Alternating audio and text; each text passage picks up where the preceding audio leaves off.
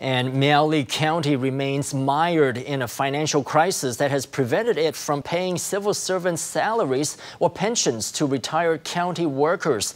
A DPP lawmaker has suggested that money could be saved by cutting the special allowance of the KMT county chief, deputy chief, and secretary general. A suggestion that County Chief Hsu Yao-chang saw as political grandstanding. Miaoli County Commissioner Hsu Yao-chang angrily criticized DPP at-large legislator and Miaoli native Wu Yi-chen for suggesting that Hsu lead the way in cutting expenses by reducing his special allowance. Today you are stabbing us in the back and bad-mouthing Miaoli. Legislator Wu, where is your conscience? After taking office at the end of last year, Hsu showed the same penchant for spending as his predecessor. He has given out free canes to the elderly and printed publicity materials in a monthly journal to push county government policies.